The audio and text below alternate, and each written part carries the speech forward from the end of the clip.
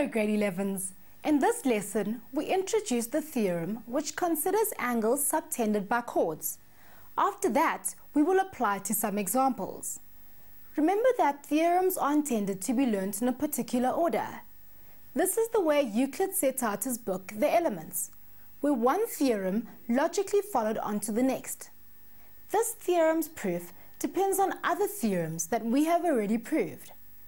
We switch over to John and Kanya to take us through the proof. This is what the theorem statement says. The angles subtended by a chord at the circumference of a circle on the same side of the chord are equal. We can call this the angles in the same segment theorem. We need a circle and a chord.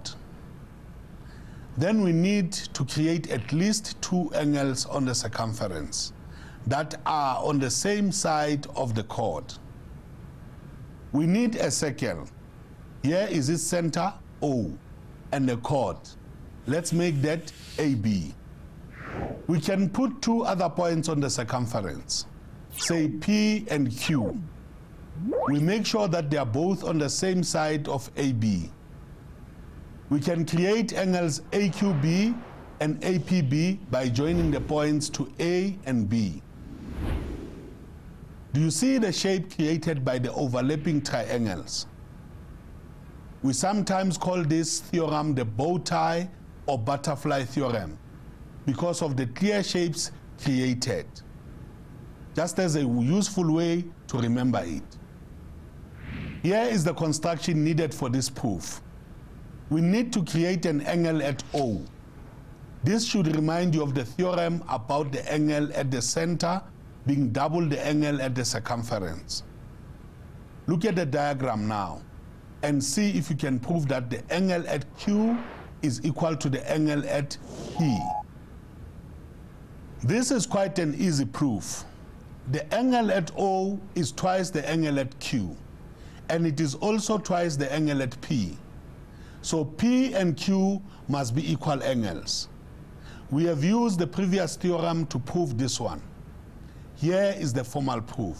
Given a circle center O with chord AB and P and Q on the circumference on the same side of the chord, join AQ, QB, AP, and PB. Join OA and OB required to prove that angle AQB equals angle APB. Proof. Angle AOB equals twice angle AQB because the angle at the center is twice the angle at the circumference. Angle AOB also equals twice angle APB for the same reason. So 2 times AQB equals 2 times APB. And so AQB equals APB. When you use this reason in a proof, you can shorten it to angles in the same segment. Look at the diagram again. Do you see that P and Q are both subtended by chord AB and are in the same segment? Look at the statement of this theorem again. Can you work out what its converse will be? This is the converse. If a line segment subtends equal angles at two other points on the same side of the line, then these four points lie on a circle. As John was saying, the proof of the converse is not needed to be known for examination purposes, but we need to be able to apply the result in proofs and riders. This theorem has a result which is known as the corollary. It states equal chords subtend equal angles. Let's use a diagram to illustrate this. We can see in the graphic that chord AB subtends angle C and chord PQ subtends angle R. Chord AB is equal in length to chord PQ. This means the angle C is equal to angle R. The converse is also true. Equal angles would be subtended by chords of equal length. We go back to John and Kanya to show us an application of the theory so far. Here you need to make use of the parallel lines. If angle EIF is given as 15 degrees, how does this help us to find x? Well, angle IFH is also 15 degrees because of alternate angles on parallel lines. Yes, and IFH and IGH are angles in the same segment, both subtended by the arc HI. To check this, you can put your two fingers on H and I and trace the lines through to angle G, and then trace the lines through to angle F. What does that tell you about angle X? Well, that means angle X must be 15 degrees too. Good work. See why it's so important to know and understand each theorem. Thank you, John and Kanya. John is now going to take us through examination style questions using the last two theorems. The first question just requires a completion of the statement. We need to realize that this is often a hint as to which theory will be used in the subsequent questions. Over to you, John. Complete the statement below by filling in the missing words so that the statement is correct. The angle subtended by a chord or arc at the center of a circle is what? I know. The angle subtended by an arc at the center of a circle is double the size of the angle at the circumference. Correct. Here is a tip. Since that was the first part of the question, it is likely that you will be using this theorem in the next part of the question. Here it is. In this diagram, O is the center of the circle and PT equals PR. Angle R1 is labeled as Y and angle O1 is labeled as X. The question is, express X in terms of Y. Have a look at the angles X and Y. Can you see any immediate link between them? Can you see other angles that are linked to either X or Y?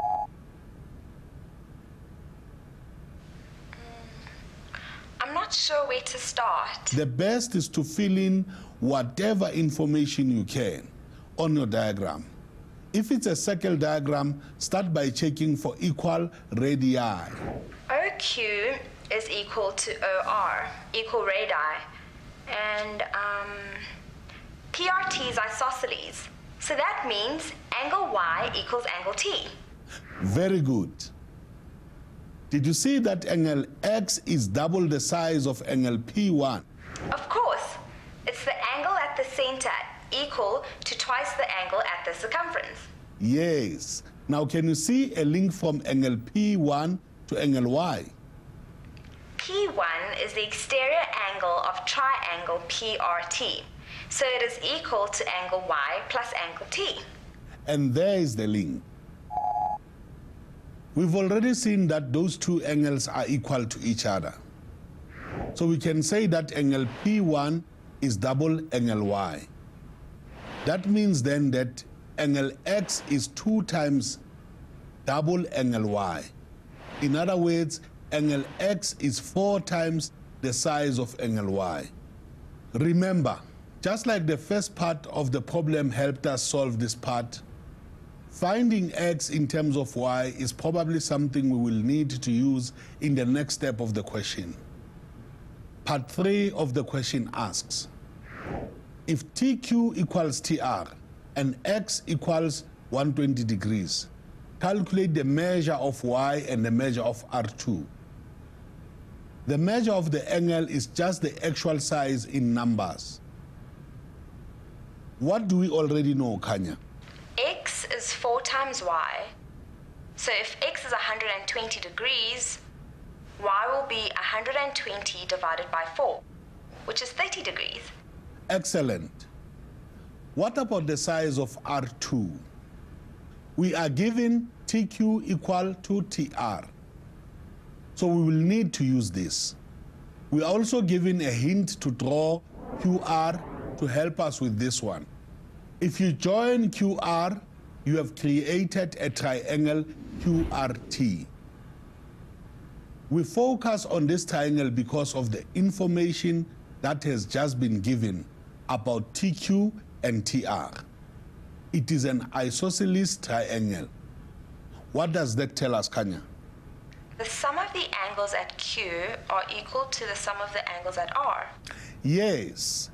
To help us along, let's label the third angle at R as R3 and the angles at Q as Q1 and Q2. So angles Q1 plus Q2 equal angles R1 plus R2 plus R3. We already have angle T equal to 30 degrees. And we know the sum of the angles in a triangle is 180 degrees. So in triangle TQR, the angles at Q and at R add up to 180 degrees minus 30 degrees, which is 150 degrees. Seeing as they are equal to each other, we can now say that they are each half of 150 degrees, which is 75 degrees. Let's not forget that we are trying to find the size of R2 on its own. Take a look at R2. Are we any nearer to finding it? We know that R1 is 30 degrees. What about R3? It is a base angle of triangle QOR. And this triangle is isosceles because the radii OQ and OR are equal sides of the triangle. So hmm. Q2 and R3 are also equal. Good work, Kanya. X is 120 degrees. So Q2 plus R3 must be 60 degrees. And so R3 is half of this, which is 30 degrees. Now we just need to do the sums. 75 degrees at R equals 30 plus R2 plus 30. So R2 must be 15 degrees. We did it! Yes, well done. The whole exam question that we have just completed is worth 10 marks. To do a question like this one, you just need to know and use your theorems. Then you need to look for links between the angles asked for and the other angles in the diagram. John makes an important point. We need to learn our theorem in order to be able to link the angles given and the angles we need to find. Remember to try the task video at the end of this section. You will also be able to learn more about circle geometry on our website, mindset.co.za forward slash learn. Thank you for joining us, grade 11s.